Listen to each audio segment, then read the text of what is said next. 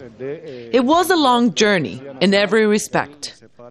After a 15 hour flight from his French prison, Noriega returned to Panama, 21 years after his arrest by U.S. troops and extradition. Obscured by security, he was taken inside for medical checks. The 77 year old could face up to 20 years for the killings of political rivals.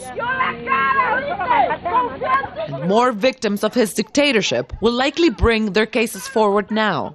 But Noriega has the right to appeal. On the one side, he can go to house arrest, but that would mean not defending himself. And on the other side, if he wants to prove his innocence, he will have to accept spending maybe the last years he has to stay alive be, behind bars.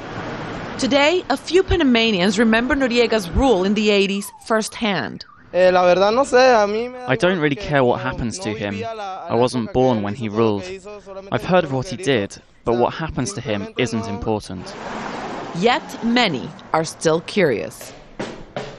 This was Noriega's mansion, but the place is abandoned right now. And we heard that people actually broke in and stole most of the objects that he had that were worth anything.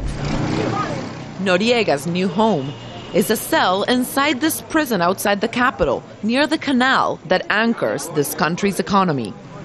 Panama has moved on, but the general, who was the strong man, still faces his homeland's judgment.